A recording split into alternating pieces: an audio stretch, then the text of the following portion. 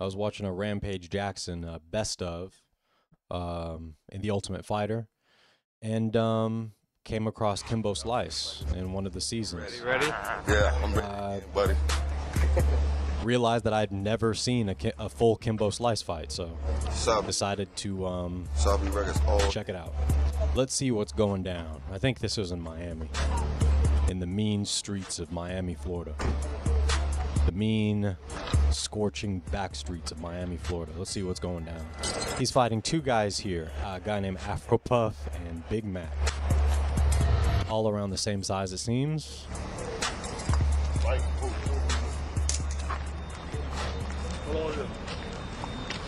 Okay, right off the bat, um, Afro Max footwork. Uh, his his body positioning is not the best because he's facing his opponent. He's facing Kimbo. Um, what they call I don't know if there's a specific way to describe it, but his he's full frontal. He's facing Kimbo Slice, so it puts him at an immense disadvantage. It means that everything's there to be hit. Generally speaking, boxing tradition is going to tell you you want to be as bladed as possible to make sure that you leave as few targets as possible to your opponent. Um, it also helps you to move to be more swift of foot. Um, because uh, when you're facing your opponent completely, it's a lot harder. You can move if if you're swift of foot enough. You can move laterally, you know, pretty well. But going forwards and backwards is a problem. Um, especially if you don't have extensive training. You know, uh, boxing footwork um, and fighting footwork in general is something that that is specifically trained for. It's not something a lot of people are just have they just have natural talent, so they can kind of just coordinate their feet in whichever way they will. Um, you know, especially in a fight like this, in a chaotic situation like this, you're you don't know where punches are coming from. You, you know, you're you're dipping and ducking and bobbing and weaving and slipping every which way. What I like about this moment here, though, I'm gonna go ahead and rewind this right here.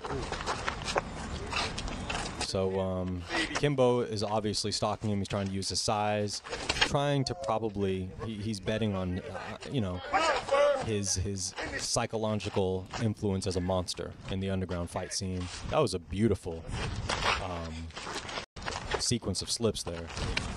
Kimbo is doing a really good job of kind of bobbing and weaving and slipping his opponent's punches.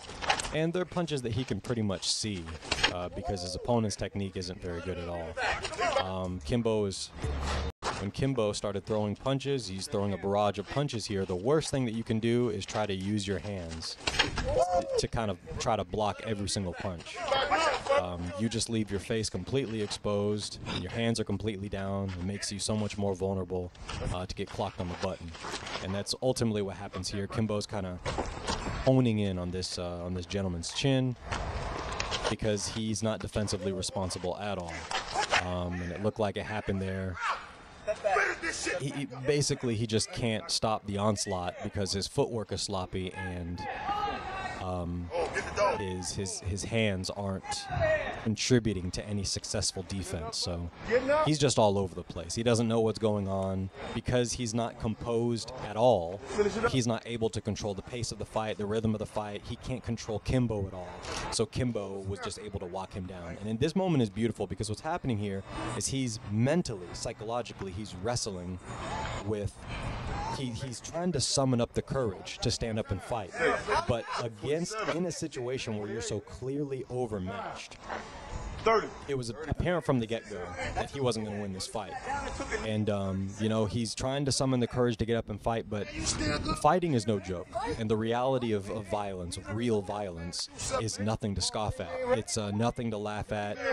You know, fighting like this on concrete, without any gloves, without any hand protection, without any wraps, things can go south very, very quickly here. So, you know, it takes a lot of daring, a lot of what they call balls, to even put yourself in a position where you're fighting in this way in general. So he's already demonstrated enough courage and enough daring, um, you know, a willingness to try to be great in his own way by even stepping up in the first place. So I don't call this man right here, the guy in the, with the gray shirt, I don't call him a coward at all. You know, it took a lot of uh, cojones, as they say, to uh, to even put yourself in that position. And he he what he's doing here is is very smart. He's saving himself future pain. Some people would probably rush and try to call him a coward and say, well, he has no balls. You know, he's a little bitch because he didn't continue to fight. In this situation, it's not a life or death situation. He knows that he's overmatched. He's weighing the odds in his mind, and he made the smart decision to just save him a lot of future trauma. And um, just cut your losses. Cut your losses. There's no need to continue to put yourself in peril, um, especially when you're so overmatched. I do not fault uh, this gentleman at all. He made a very intelligent decision. He swallowed his pride. Um, and he just understood that the best thing to do in this situation was just to walk away. And um, I actually applaud him for that. I do. I, I definitely applaud him for that. Okay, so Kimbo just goes straight to the next guy, which isn't doesn't seem to be that big a deal for him because it's clear that he's overmatched. This gentleman here, uh, Big Poppy, I forget his name. I'm just gonna call him Big Poppy. His footwork is a little bit better. His stance is um, more adequate, but he kind of falls apart once he's faced under pressure. One clear mistake that he's doing, which is a mistake that a lot of amateurs make, is that he bends uh, forward completely at the waist when um, confronted with pressure. When his opponent applies pressure, can't really do much there in the clinch, especially if you're not trained for it. You have to really be trained to understand how to use the clinch to your advantage. Um, but there, that's what I'm talking about. You know, Kimbo applies pressure. He starts throwing a barrage of punches, and the first thing he does is bend over at the waist. That's one of the worst positions that you can put yourself in, especially in a situation like this, because not only can you not see any punches coming your way, especially if your opponent is, is an uppercut specialist, if he's got monster uppercuts and hooks, not only can you not see any punches coming, but because you can't see them coming, when they inevitably connect, their impact is magnified. Their, it, the impact is intensified because your brain can't anticipate them. Your brain can't mentally anticipate the damage. So it's it's it's much more. Uh, you're putting yourself in a very dangerous position when you try to, in your own way, kind of clam up by bending forward at the waist. Because you think what you're doing, you think you're just ducking a lot of blows, but in a in a situation where you're fighting a guy with a lot of experience who's obviously trained um, in uh, hand-to-hand combat in the manner that he is uh, in Kimbo Slice, it's just never a good idea to take your eyes off your opponent. You always want to keep your eyes on your opponent, even if you're outmatched, even if you're not sure where the fight is going to go or how things are going to go. You want to always keep your eyes on your opponent. Excellent, consistently excellent consistently it was a tongue twister consistent consistently excellent execution of the basics leads to success. You don't need to be fancy um, as a fighter especially if you're only using one discipline like uh, boxing you know. You don't need to be fancy. You don't need to be um, you don't need to be stylish. You don't need to be cute. All you need to do is just learn how to execute the basics um, excellently, consistently. That's all you need to do. If you can do that, then most of the time you're going to be okay. And your confidence is going to skyrocket because the basics makes a man confident. Becoming competent makes a man confident, especially in, in something as um, relatively straightforward as boxing for most people. Uh, but yeah, that's it's pretty much his major mistake, just bending over at the waist, taking his eye off, eyes off his opponent, making himself vulnerable because he's blinding himself. He's become his own worst enemy. Um, and on top of that, he's not, and because of his horrible body positioning, he's not he's not putting himself in a position where he can actually return meaningful blows.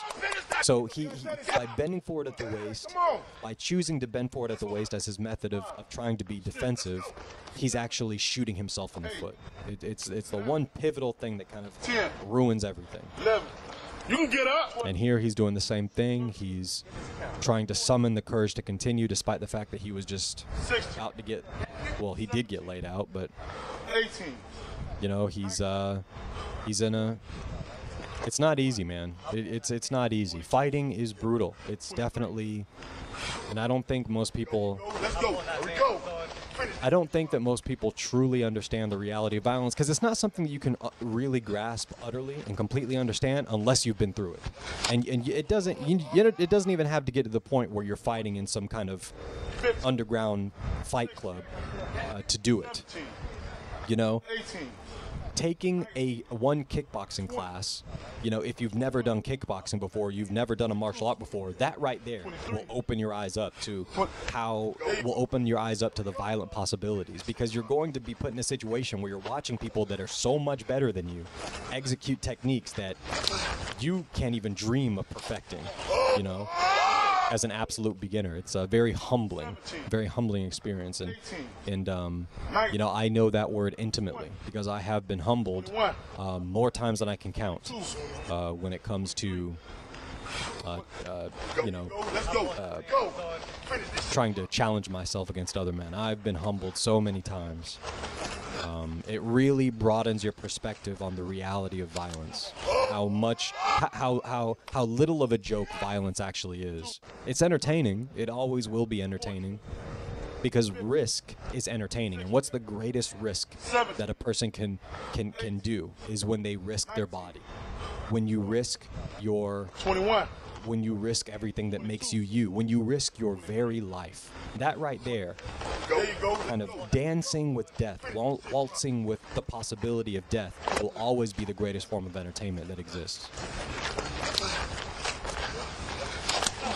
Yeah, he just. It looked like he ducked too when uh, Kimbo threw that uppercut. He adjusted. He saw that his opponent liked to duck a lot, so he he's trying to start a nice jab, but he ducked right into it. Yeah, that was his undoing. He's trying to get a jab going, which is commendable, you know, uh, but he ducks into an uppercut. It looked like it hit him on the temple, not necessarily on the chin. So at this point, I would not fault him at all if he just gave up. Um, there's no shame in losing to someone that's better than you. That's a lesson that you learn as well. If you do any kind of martial training, it's um, it's something that you learn very quickly to just accept and just push through, and help and help that revelation allow you to grow. It's net. There's nothing shameful in losing to a better man, losing to someone who's actually better than you. 20. 21. And plus, if you have the right mindset, when you do put yourself in that kind of situation and you lose, it gives you a new goal to try to reach. You know, okay, well then that's the that's the guy that I want to beat. He's better than me, so I'm going to train to beat him, or I'm going to train to beat maybe his protege. You know, he has a he has a lot of courage. I, I will give him this. Big Poppy's got some courage. 16. He's got some cojones. 17. that you know some people like to say well he's either very courageous or he's very stupid. Either one of the two. Sometimes it's hard to tell. Most of the time me personally it's easy to tell when someone's got courage or they're very stupid. In this case um, you know he's trying to prove something. It's it's clear that Take him one time, son. he, ha- he has ambition Let him down one time. in this sense. Is it the right kind of ambition that's debatable. A lot of people would say no. Trying to make something of yourself in such a risky situation, in such a risky world as underground fighting. Um, you know, a lot of people would say that it's not worth it in the long run. Um, I would agree.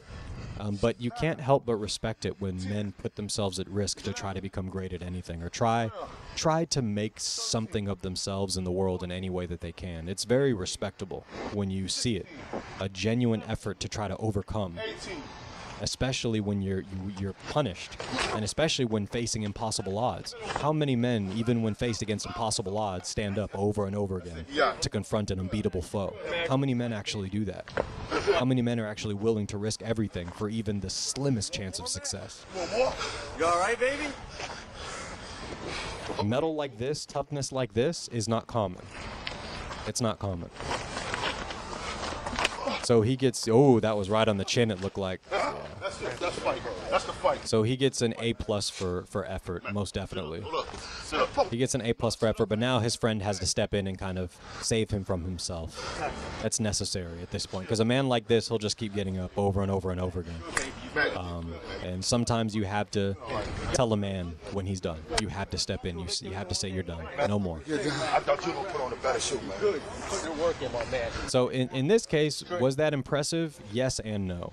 Uh, yes, in the sense that it's always impressive to see a man beat down other men, especially multiple men. But no, in the sense that it's, it was very clear that these men, that Kimbo Slice outclassed these men by a considerable de- by a, by a considerable degree. My brothers keep it. So is it impressive? Yes and no. Don't forget. Don't they call y'all But one thing that you cannot deny it is, is that it is entertaining. It's it's pure entertainment. Man, get him in there, Bird. You all right, man? We got a towel for you right here. And you know the great thing about situations like this, Give him that. um, scenarios like this, is that even though he lost, I'm my brother. his display of courage earned him respect. call y'all Soul Patrol. It's a very uh, strange thing, very almost surreal thing in combat sports. It's one of Hey, Big Mac. it's it's some it's one of those situations that even when you lose, you can still win. Squeak, give him that shirt right there. The Sublime shirt. and Give him that um, he's earned his respect amongst these men here. So, yeah, that was cool. That was good stuff. Good stuff. Pure entertainment.